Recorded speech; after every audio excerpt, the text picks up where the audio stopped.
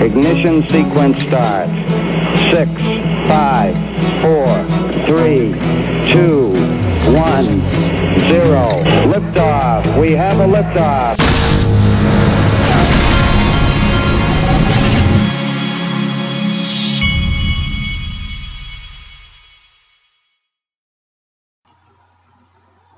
Hey everybody, this is the Digital Asset Investor, and I got started a little bit late today because my wife had a little bit of car trouble, and so I had to deal with that this morning. But never fear, I'm ready to go. I've got my coffee. I went to, I took my son to McDonald's uh, this morning, and I got myself a McDonald's coffee, and I am drinking it right now. Okay, let's start it off uh, with Bank XRP. At Bank XRP, he's an old school XRP community member and really smart. Need to give him a follow. SEC Live, we talked about this yesterday, but now they are um, actually having their forum. SEC Live, Distributed Ledger Technology. The SEC is hosting a FinTech forum to discuss distributed ledger technology and digital assets um, on May 31st at SEC headquarters in Washington, D.C. Um, and this is the link in his um, tweet here, but apparently they've gone live doing this. Okay, next I've, I started following um, this guy, Sir, Sir Gordon Gekko, Uh, and look, let me, I always give you the disclaimer. I'm not a chart guy, don't do charts but I, I, find certain people interesting to follow that do do charts. And so this is not my prediction. I have to, I always have to give you that disclaimer. I am not um, saying that I predict whatever this person's predicting. I am saying that I like to show it to see see how some of these people are thinking and what they're looking at and, and the different patterns that they notice. Um, so he says, um, Sir, Gordon, Sir Gordon Gekko, he says XRP USD here we go. And then he's got a link to his, um, he has one of these trading view um, accounts, I guess. And apparently, what he calls this right here, his XRP USD cup and handle still in place, is what he says. He's got a he's got a picture um, of this thing where like where it goes down to about where it is right now, and apparently that's an indication and he says it indicates the moon pattern. Um, and then at the bottom here, he says, looks like it's following the formation. Fun weekend ahead. So anyway, I thought that was interesting. Um, okay, next, um, this is from Bitrue, and today I've, I've, I've told you about this Power Piggy thing, and I've, I've put some some holochain in it, and then I've taken some holochain out, and then I've put some in it, and then taken some out. So I've, I've just been kind of playing with it, but I in no way, in no way am I telling you to, um, to you do the Power Piggy program. I'm, I'm making, I wanted to explain, explain a little more about it so that you can see how upfront that these people are being about it. Um, I'm trying to show you how transparent that this company is being, but I am not telling you to go do it. You've got to do your own search and own research and look at all that. But, but today they announced that they are also adding Cardano to the program. And so look, I want to show you this. You can find out Ferdy at XRP Twin posted this blog. Who is the driving force behind Bitrue? You have questions, I have answers. Read it in my newest blog, Curis Wang, the interview. Okay. So she, and then she's also got a thing down here where if you, says find the Easter eggs in the blog, a couple of XRP community, community members are hidden. Find one of them, comment below, and Bitrue will drop BTR in your account, all for mass adoption. Yes, you can create, uh, have Bitrue account. Good luck. Okay.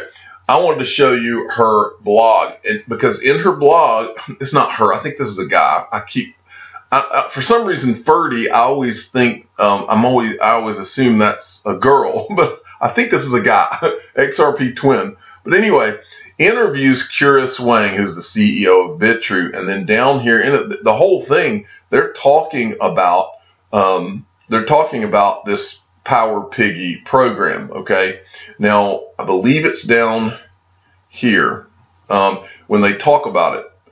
To and the, the reason I want to show you this is because uh, there's a lot of people saying, "Oh, well, this um, Power Piggy thing is a Ponzi scheme and, and this and this and this. This guy, uh, the 7.3% interest rate, what can we say about that? That is probably the hottest question I'll ask you, as many, many people ask about this. Ponzi, fake. Um, that is where our money goes to what, where, why. Okay. Well, they, they are very upfront about this thing in this article here. Everybody has an opinion about, so curious, please let this blog be the document showing the world whether it is real or that that sentence um, has ended right there. Spoiler alert, it is real. Today, the Power Piggy program is not sustainable. Whoa, Curious, please open that door. Okay, so uh, my understanding, the way I read that is Curious is saying today the program is not sustainable. It is at this moment a marketing campaign.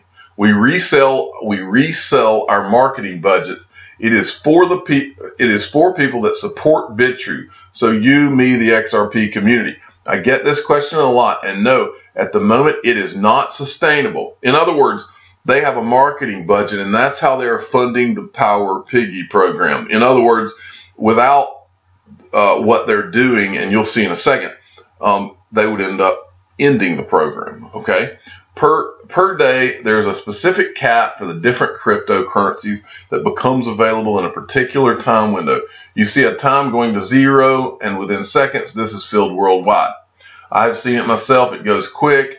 Um, and then he says, so tell me, uh, curious, but more info on the piggy. Funny thing, we hear a lot. Of, uh, we hear from a lot of users. They get up at night to join the program, but don't see their tokens currency filled. In crypto, you don't see a lot of interest projects. I wrote, uh, and let me go, okay. Well, the program is sustainable or can be made sustainable.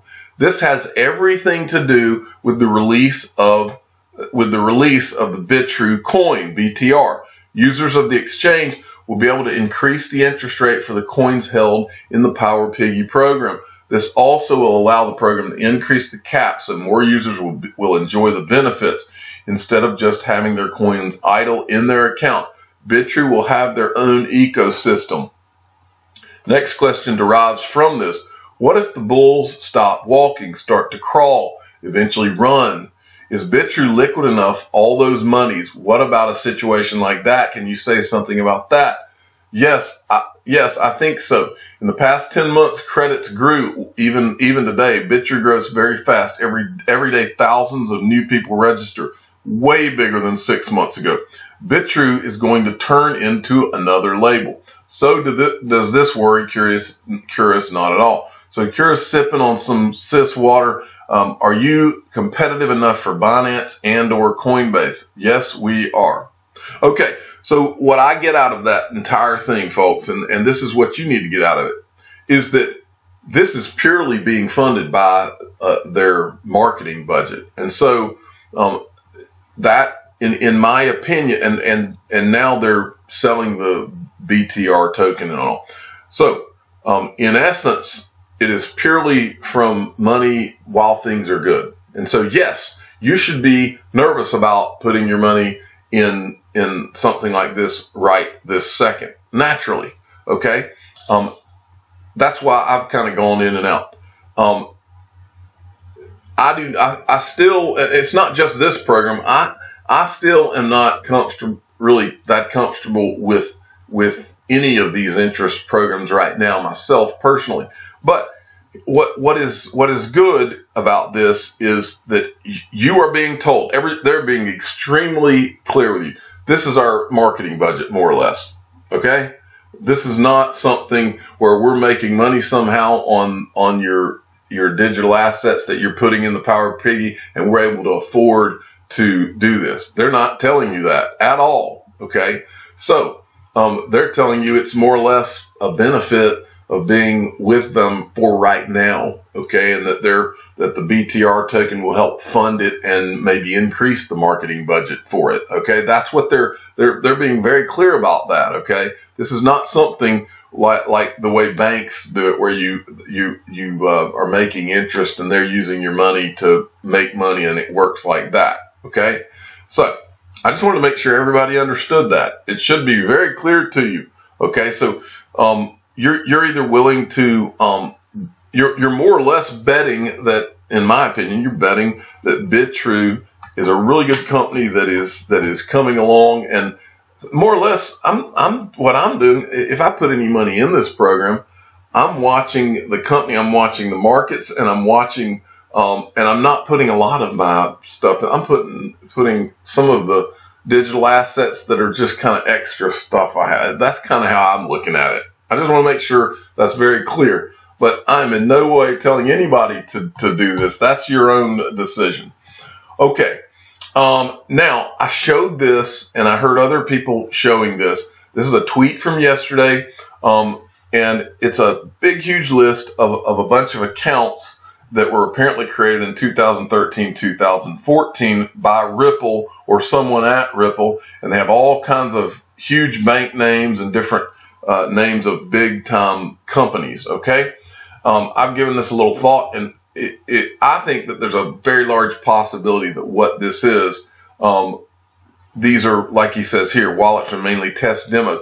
I think that someone at Ripple probably at some point just uh, created a bunch of XRP accounts for, imagine, uh, because 2013, 2014, Ripple was probably meeting with all sorts of banks and going to, to try to get meetings with banks and payment companies to present to them. And so if I was going to a company to present, let's say I was going, I worked for Ripple and I was going to Bank of America to do a PowerPoint presentation for Bank of America. Well, I would get my tech guys at Ripple to open a, an account, put Bank of America's name on it so that I could do a demo in a PowerPoint presentation. If I had to bet my money, that's what all these wallets are. So I just wanted to throw that out there. Okay, XRP Crypto Wolf. Insurance giants State Farm and USAA expect to go live this year with a blockchain to automate car claims processing since they are time consuming and paper heavy. Both firms are using real claims data and will go into production around the end of this year. You ask for adoption, I give you adoption. The insurance industry will be another huge industry for blockchain. Next, from Peter Pumpkin Eater at Yes, I'll Have Some sent me this article. Now, we covered um, Ven and his XRPL labs, how they were developing Zine, and I think I'm saying that right. Zine, which is going to be like a banking app. It's like more or less, it's an app that is a bank without the bank. But I, there was a couple of interesting quotes in here that I wanted to read to you. Zine will deliver a user experience we know as online banking, not just crypto. So what it will allow you to do is check your balance and send your funds in any currency. We're not building a crypto wallet. We're building a banking app, except without a bank. We're building a banking app based on a digital ledger, based on the XRP ledger, and based on ILP. Um, and then he goes on, um, it's not for geeks. We know that crypto wallets are not for everyone yet. Minimal technical knowledge is still required. We're going to help users get started with a really secure, user-friendly setup guide in-app. It will be very easy and straightforward to use. Now, I've, this is something that I've said before on this channel, and I'll say it again. All the uh, there will be a day when you and I will tell probably our kids, will say, yeah, when when we first got into digital, when I first bought into XRP, um, they they had these long serial numbers, and that was your address. And you would you would have this long serial number and a destination tag, and then you would send it to another. Uh, you would you could send XRP to another if you had another um, long serial number and a destination tag. We will be telling that and laughing about it down the road because it's not going to be like that. I believe you'll have a username that works across digital assets, across the Interledger protocol. I believe that's the type of thing to make these things user friendly that will be worked on by guys like Wietse I believe that's where all this is going. Okay. Next, Bond Crypt at Bond Crypt, SBI Ripple Asia to trial store settlement service for XRP powered payments app MoneyTap. Now, um, I'm going to open this article and just talk about it briefly. Just read you the first part. Um, this is um, okay right here. SBI Ripple Asia, Asia, a subsidiary of Japanese financial services John SBI Holding, is launching a store settlement service affiliated with SBI Holdings and Ripple's jointly developed consumer-focused XRP-powered payments app MoneyTap. I think this they made a mistake here. It is not XRP powered right now. That's my understanding. I've, it's RippleNet, which doesn't use XRP yet. Um, but it says, as previously reported, MoneyTap, which launched in the fall of last year, implements Ripple's blockchain solution xCurrent to enable near instant domestic bank to bank remittance services. The new store settlement service reportedly intends to pave the way for the rollout of full scale in store payment services using MoneyTap by the end of the year. Now, I don't know if what they're saying here, I don't know if this is what they're saying here. I hope that what they're saying here is that the new settlement, the settlement, because when you hear settlement, that's when I think XRP. And I'm wondering if this is is the thing that is going to take us to where they are using XRP on these on these apps because this is where it gets interesting, folks. MoneyTap aspires to eventually see a consortium of 61 Japanese banks, representative of more than 80% of all of Japan's banking assets, participate in the service and received in investments from 13 Japanese banks this March. I've always said it. SBI is the XRP holders ace in the hole, folks. It will come from Japan if it comes from nowhere else. I'm the digital asset investor. I'm not an investment advisor. This is for entertainment purposes only. Please subscribe and hit the like button. And tell your friends and family that SBI is XRP holders ace in the hole. Thank you for listening.